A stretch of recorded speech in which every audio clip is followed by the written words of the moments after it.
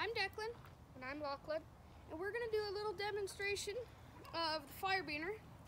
So we have our watertight capsule, so we're gonna unscrew this, pull up the fire starter, screw this back.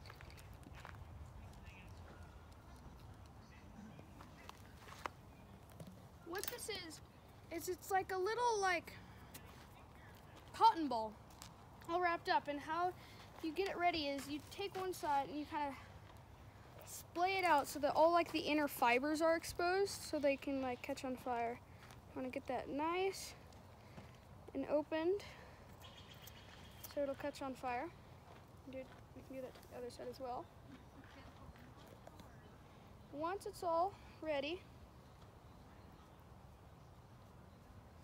set it in the fire take the Firebiners and try and spark it. Okay, ready? Go. Try and get this to work. Here, wait, let me try.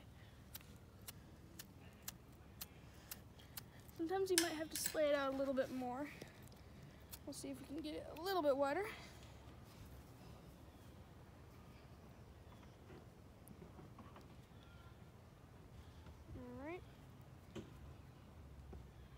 Look, you want to try and spark it again? Get nice up close. Here, I'll help you. Sometimes takes a little while just to get it.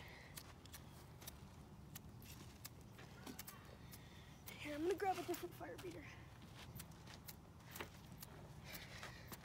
See if we can get this to work. There we go. Now it's on fire